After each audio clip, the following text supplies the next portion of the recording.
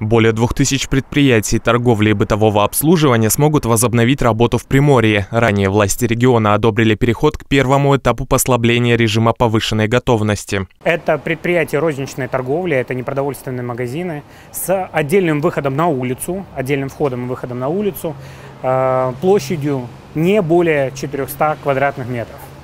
Для старта работы руководители предприятий должны подать уведомление о готовности возобновить свою деятельность в Минпромторг Приморья. Бланк документа находится на сайте правительства края, однако нужно соблюдать необходимые санитарные условия. Каждое утро э, сотрудники должны проводить термометрию и заносить э, эти данные в специальный журнал. Это первое.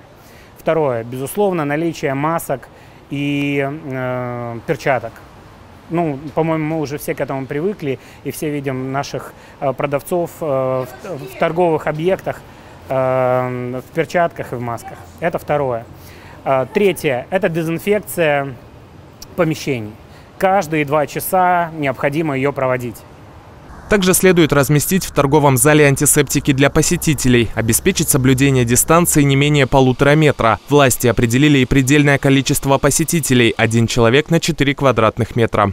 Это те ключевые позиции, которые при выезде на место э, органами э, муниципальной власти, они будут проверять при э, принятии решения об открытии той или иной точки торговли. Предприятия, успешно прошедшие мониторинг, будут занесены в реестр хозяйствующих субъектов, размещенный на сайте Краевого правительства. Возобновить работу торговые центры и предприятия бытового обслуживания смогут только после появления в реестре информации об успешном прохождении мониторинга. Дмитрий Беломестнов, новости на восьмом.